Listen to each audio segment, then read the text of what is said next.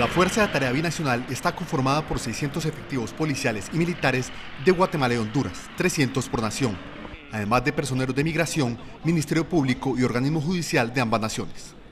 Este escuadrón de élite denominado Fuerza Tarea Maya Chortí se encargará de vigilar los 256 kilómetros de frontera común entre los países y tiene como meta el combate del crimen organizado y el narcotráfico.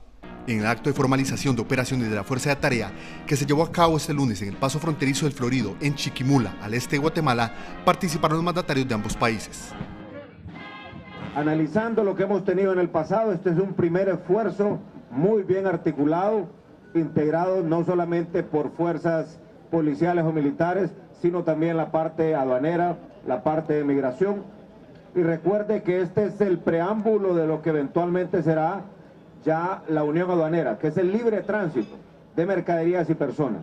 El presidente de Guatemala, Otto Pérez Molina, recalcó los esfuerzos de ambas naciones para asegurar la integración entre los dos países. Dos esfuerzos que se están echando a andar. Uno es el grupo de alto nivel de seguridad y justicia, en el cual va a haber un intercambio eh, en la medida que vayamos avanzando en tiempo real de información y de inteligencia entre los dos países, lo cual va a venir a hacer más efectivas las acciones que estén llevando a cabo las unidades eh, que pertenecen a la Fuerza de Tarea Binacional Maya Chortí. Además del inicio de operaciones de la Fuerza de Tarea, los jefes de Estado de Guatemala y Honduras firmaron un convenio de entendimiento para poner en marcha un grupo de alto nivel en seguridad y justicia.